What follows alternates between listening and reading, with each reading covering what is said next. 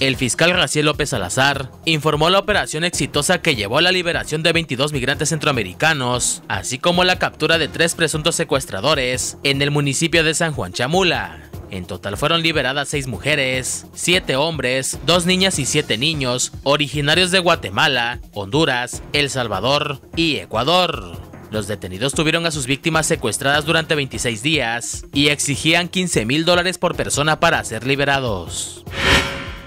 En Tonalá, una mujer que viajaba en su motocicleta fue embestida por una camioneta. La mujer quedó con varias lesiones por lo que tuvo que ser llevada al hospital, mientras que el conductor, al ver lo que provocó, se dio a la fuga, aunque en el lugar quedó tirada la placa de su vehículo.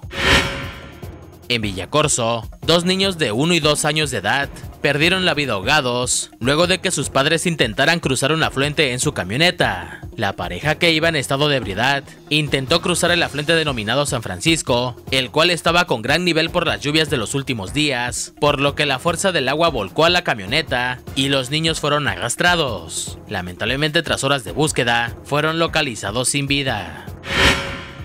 El gobernador electo de Chiapas, Rotilio Escandón Cadenas, dijo que su gobierno caminará junto con el gobierno federal para hacer más en favor de la gente por lo que habrá mucha coordinación y gran corresponsabilidad, pues el compromiso es la justicia social y el desarrollo económico. No te olvides de compartir este video y seguir nuestras redes sociales para estar siempre informado, o visita nuestra página web en www.recordchiapas.mx.